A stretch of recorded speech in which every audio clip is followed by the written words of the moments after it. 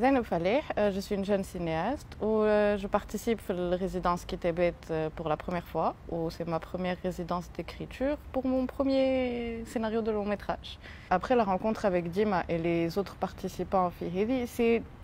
en fait une espèce d'ouverture concrètement. Tu échanges avec les personnes qui sont autour de toi, sachant en plus que c'est des personnes qui sont dans le même domaine, mais qui sont quand même très différentes On est tous les profils اللي موجودين في الريزيدانس فما حتى واحد يشبه الاخر et les scénarios non plus ne se ressemblent pas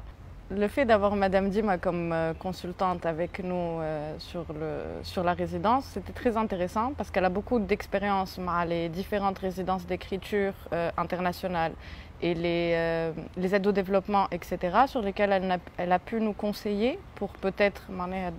d'autres résidences dans le futur pour nos scénarios. Pour le volet pitch, ce qui était intéressant, c'est que généralement,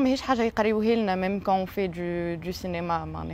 comme euh, études supérieures. Et euh,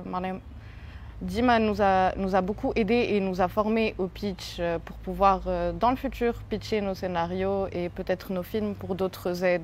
pour la réalisation, voilà, pour continuer l'écriture un peu plus profondément. C'est une expérience à refaire.